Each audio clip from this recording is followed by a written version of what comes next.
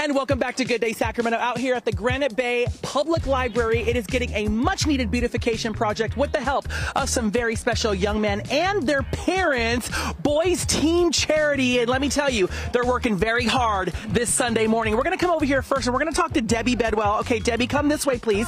So, um, you are the president of Friends of the Granite Bay Library. And so you partner with Boys Team Charity. Tell us a little bit about this. Okay, the partnership is a great way for, if you look at the Boys Team Charity, mm-hmm. uh, for them to bond with their parents. Mm-hmm. It's a way of learning and teaching uh, the kids and, and partnering. So it's, it's a great opportunity. We're excited because uh, this is project is a beautification project mm-hmm. for the library. So we're sprucing it up.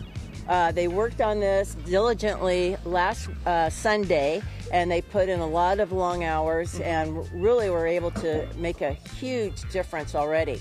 Um, this is part two, and there will be cleaning all of the grounds all the way around, and then we'll be putting mulch down. Mm-hmm. And the mulch was donated uh, by the um, Placer uh, Parks and Recs. So mm-hmm. thank you.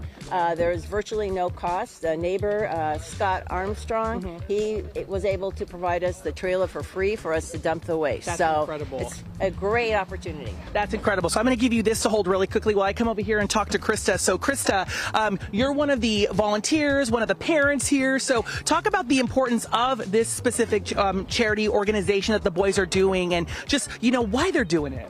Well, first of all, we love BTC because it gives us a way to be organized to serve back to our community. Mm-hmm. I think a lot of times it's hard to find ways to serve your community, so mm-hmm. this makes it very easy for us.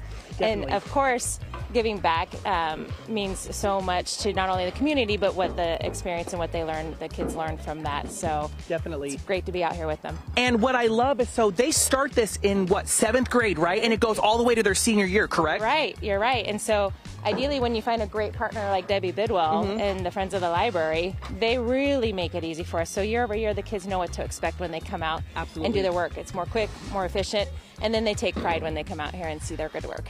I love that so much. So for those that are watching at home, if they want maybe some of these young men to come out and do some service projects for them, how can they do that? How can they request that? That's a great question. we have a site, Boys Team Charity, okay. Granite Bay. You can go that way um, and take a look at um, how to contact us and let us know. We can create a liaison for okay. your community service project and um, get you hooked up. Perfect. I love it. These strong young men here who can come out and do some great stuff. and then Debbie, so if people want to learn more about Friends of the Granite Bay Library, how can they do that? Definitely go online. We're on Facebook, we're on Instagram, and it's Friends of the Granite Bay Library.org. Uh, we'd be excited to have anyone come out and help us volunteer as well. We have book sales, we have little libraries, there's a lot of different um, uh, activities that we do to support the library. We're kind of their uh, cheerleaders, you know? Love that so much. Young men and their parents doing great things this morning live on Good Day Sacramento. We'll send it all back to you both in studio. Kevin, thank you so much. Kevin, what a great charity.